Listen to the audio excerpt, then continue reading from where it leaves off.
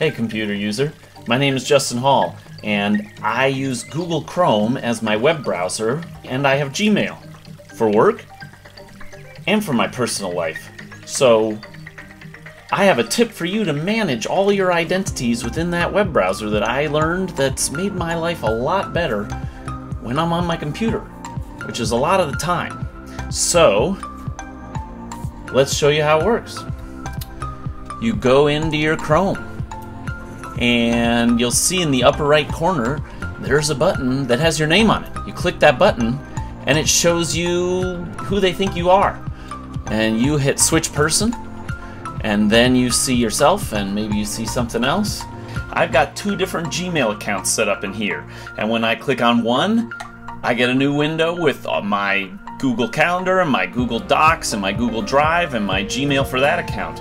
And then if I click over into another account, I get a separate window with a separate email and a separate Google Drive and even a separate Facebook and Twitter and Amazon and all the other things I might log into.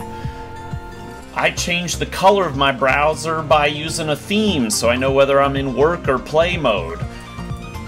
But either way, if you want to get started, down at the bottom there's an add person link.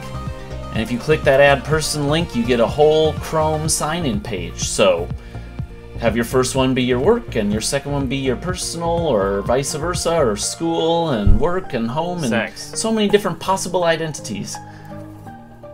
You get them all in your web browser, you can switch back and forth. You open a new window for one, keep them separated. You know, because we got to be clear with what we're saying to who. Because the internet's a big place and there's lots of people we want to talk to. Good luck out there. And if you like this, I make other videos that you could check out on YouTube or Facebook or the Internet Archive or wherever you like to get your content. Wow. I'm going to put some URLs on the screen.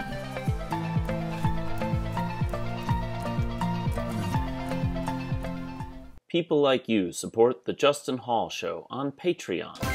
Visit patreon.com slash Justin.